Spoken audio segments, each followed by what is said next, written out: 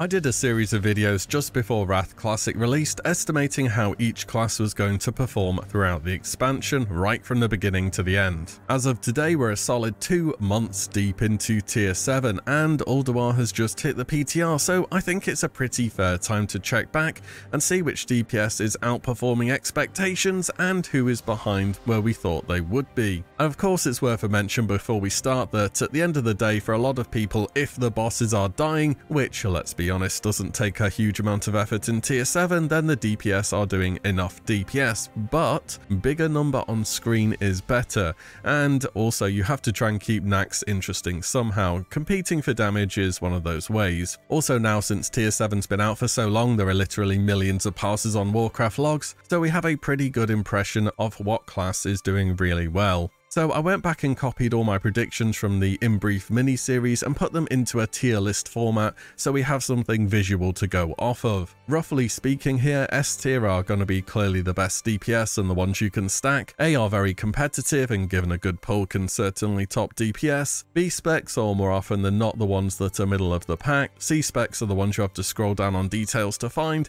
and D is why are you doing this to yourself? I also put specs in order for the updated tier list. So the far left of each tier is the highest rated, the far right the lowest. With all that said, let's start off with the plate DPS and work our way down. But first, it's only about two weeks until you know what day. Still looking for gift ideas? Today's sponsor, Ridge, is here to help out, and with huge discounts using my link at ridge.com slash e, you're sure to find a wallet to please. They have over 30 colours and styles, including carbon fibre and burnt titanium. A real plus is that they're made with RFID blocking technology, which protects you from digital pickpockets. In fact, Ridge have over 50,000 five-star reviews, and the team is so confident you'll like it, they'll let you test drive it for 99 days, and you can send it back for a full refund if you don't love it. Ridge makes a great gift for people on the move. If you're working away from home or on holiday, well, you won't need to trust hotel safes. In the gym or out for a run, the wallet will fit snug in your pocket and won't slow you down. The Ridge key case also makes a great gift, offering a safe and secure place to keep your keys together, and easy to carry and find the right key quickly. Get the best offer on ridge.com slash will e right now, and you can save up to 40% through December 22nd. The link is below. Many thanks to Ridge for the sponsor today,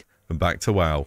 So for DK, blood unsurprisingly wasn't expected to be a thing, and it's turned out to not be a thing in terms of DPS. Final patch balance pretty much killed off any chance for this spec to be relevant, and if it's ever played as a DPS, it's kind of just a curiosity thing. The other two specializations have swapped place. I've moved Frost from S to A, Whilst they are extremely good, you have to be doing that extra level of OP to really be in the top spot here. Frost does perform very well on overall damage, but they aren't quite as good on single target encounters. You also need a bit of luck at times with procs happening when you want them, which they don't always do. Unholy, however, has moved from A to the top of S. For me, it's quite close between the top two, but the things that Unholy can pull off on single target pushes them to the top spot for me. Lining up all the various haste procs from weapons trinkets, potions, heroism, and so on, and then using your big cooldowns such as Army of the Dead and Summon Gargoyle are allowing top Unholy performers on DPS to see upwards of 10k, which in tier 7 gear is pretty unreal. There's a few other factors playing into Unholy being amazing too.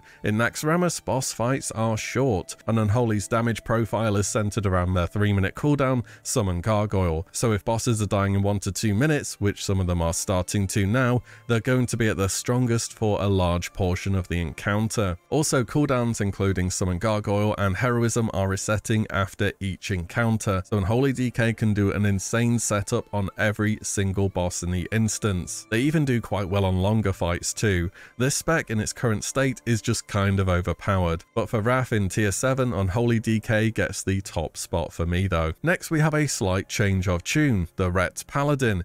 It felt like week 1 on 2 of Wrath you would struggle to walk 5 yards around Dalaran without tripping skipping over a Ret Pala. Now their numbers have decreased by quite a lot. At a first pass I had them around B tier, I've now got to move them down lower than that to C. I expected Ret to be middle of the pack in tier 7, but in practice they're just not in a great spot currently. There was even a forum post that got a blue reply on the state of Rets, where they said the scenario in which we would step in to make a direct buff to a baseline class functionality is quite specific, and that's when a class as a whole is at a point where they're almost never taken in raids across a broad spectrum of skill and performance levels. I mean, it is classic after all, I would be more surprised if they started trying to balance things than leaving them as they are. I still think Ret has one of the best rounded toolkits in the game when it comes to utility, but on the DPS meters, there's not a huge amount you can do. The skill ceiling is pretty low as well, so it's just hard to stand out. On top of that, Naxx is full of undead.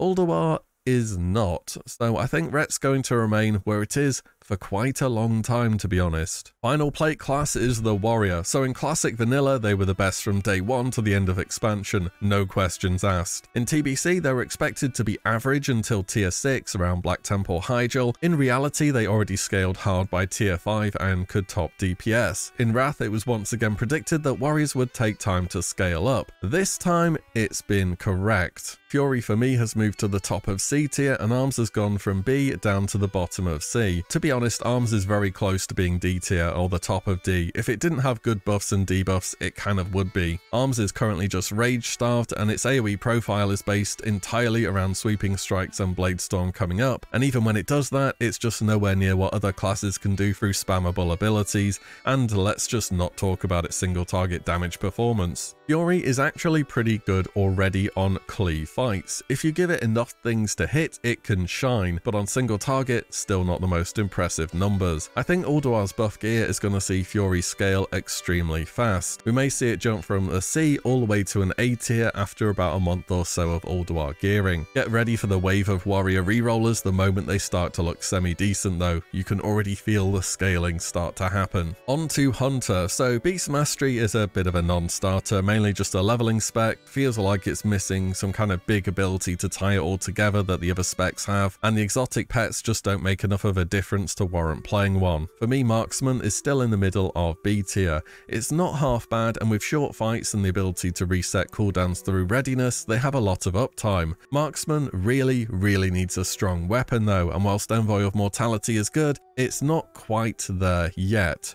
Perhaps those buffed Ulduar weapons though, Maybe we could see it move up the tiers by then. As for survival, it's not really reliant on a weapon as much and tons of its damage just comes from raw stats. However, I had it in S tier originally and I've moved it down to the lower side on A. I was hedging my bets a bit putting it that high initially, but I think it's a very solid spec. Survival has some of the best AoE in the game through explosive trap and volley and good single target damage. The only problem is that you have to go into melee to place traps, and let me tell you, you don't realize how awful awful some of the boss hitboxes are until you try raiding as a hunter in Wrath.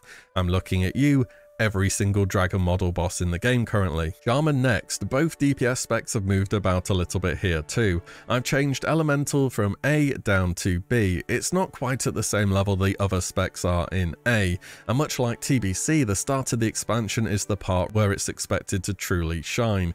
It can be good on overall damage throughout a raid, and does bring heroism and good buffs and debuffs though, so it's a solid addition. As for enhancement, I've moved it down from S right to the top of A, and to be honest, it's close to S, but just not quite there. It's another one of those specializations which really benefits from having all cooldowns reset on fights. Apart from Fire Elemental, for some reason, I don't know why that's not happening, but I guess Blizzard not liking Shamans is very Blizz-like. Enhancement was expected to start off very good and also scale well, and with buffed Ulduar gear, I think they're going to continue to be a very competitive pick. Onto the leather enjoyers then, rogues first. So subtlety it's the PvP spec, we don't really have much more to say about it than that. Combat remains in A tier, it was expected you'd need a lot more armor penetration before this spec really started to take off, but even already in Naxxramas, it's able to pull off some pretty impressive numbers. The spec does feel kind of locked behind getting the fidget spinner weapon from KT though, but once you have that, it's worth a go. Assassination was in S and it still is. This is a monster of a spec. and it's either this or Unholy DK for the best performer in tier 7. They're kind of interchangeable, very close to each other. Assassination just has everything going for it. It has low gear requirements to start doing great DPS, it also scales well as you improve your gear,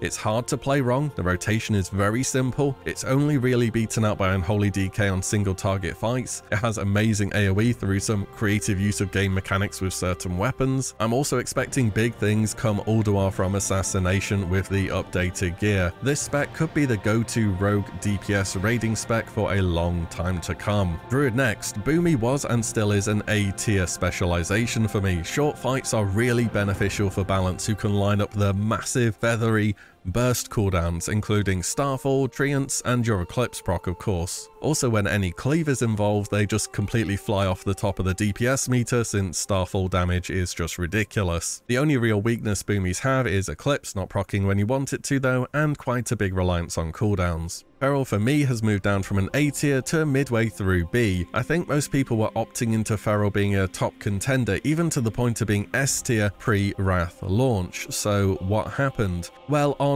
alternative servers, shall we say, Ferals worked a bit differently. They got more Omen of Clarity procs, which meant more abilities and easier to manage rotation and a lot more DPS. On Wrath Classic, they have not received the same treatment, leaving us with a difficult to play spec which often doesn't see the same results other classes get from, say, pressing summoning gargoyle and semi-AFKing. It should be a hope things get better in Ulduar scenario for the Feral mains here, and your tier set will certainly help that out. Warlocks, like rogues, are kinda spoiled for choice. Now, to be honest, I probably should have put Destruction in at least mid-A tier kind of territory. It's just kind of the question as to why would you play it other than you want to try it out and be different. It's not on the same level as turning up to a raid as a Frost Mage or a Sub-Rogue and saying, oh, the bosses will die, so who cares what I play. In fact, Destruction is pretty good, but it's quite clearly behind the other two specializations. As for the other two, Demonology remains in S, though I'm expecting it to move down to a high A by early Ulduar. Still in tier 7, it's a strong contender for top overall DPS, and its single target is also quite respectable. Not too much to add for Demonology, I'd say it's lived up to expectations here. As for Affliction, I'm not entirely sure why I only put it in A tier before. I guess I thought it would need a little more gear to scale, and that fights in tier 7 would be so short it wouldn't be fully benefiting from its strong execute phase. It turns out they get more than enough benefits and are an easy S tier and are among the top DPSs in the game as we currently are, and on top of that, Affliction is only expected to get better and better. But Shadow Priests, I've moved them down from an A to a high B. It's strange that Blizzard gave their dots so much scaling through haste and crit, and they just aren't consistently breaking out of that middle of the pack spot. Mind Sear is nice to keep them relevant on AoE, and you do need Priest handy for Razuvious, but I think they're a little lower than I expected them to be at this point in the expansion. Finally, Mage. Arcane remains in A, though right at the bottom of it. It's not doing as much damage as I thought it would, and it's kind of strange because we have all the conditions for Arcane to shine. We have short fights and cooldowns resetting, but it's just not putting up the same numbers which it did in TBC. Still, it's a solid specialization and can very much do well on overall damage. Finally, Fire Mage. It's gone from C tier up to the top of B tier. I think the scaling is already starting starting to kick in for this spec, and I'm seeing them gradually climb on DPS. I think if you're a mage player waiting on the day to drop the thrilling arcane rotation, you won't be waiting too long after Ulduar drops, if not already. The reason that Fire is still behind Arcane at the moment is they just need that little bit more gear. Fire is all about crit, and they just aren't quite as consistent as Arcane is right now. And that is my DPS breakdown for tier 7. Is what we ended up getting what you expected it to be, and how do you think Ulduar with its buff gear is going to affect things? Are we going to see some real surprises or is it just going to be Warrior rising to the top earlier than we all expected? But that is about everything for today. As always, thank you all so much for watching and listening in, and I'll see you all in the next one very soon.